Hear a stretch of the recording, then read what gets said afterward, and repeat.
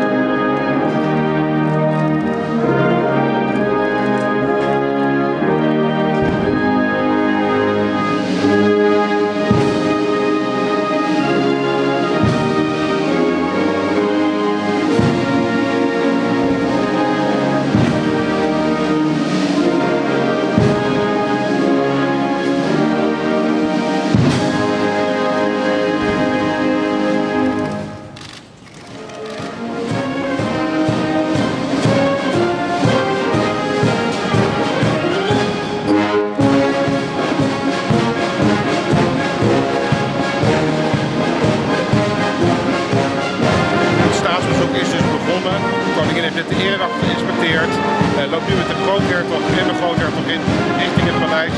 Na kennis gemaakt te hebben met uh, de leden van het gevolg en de ministers.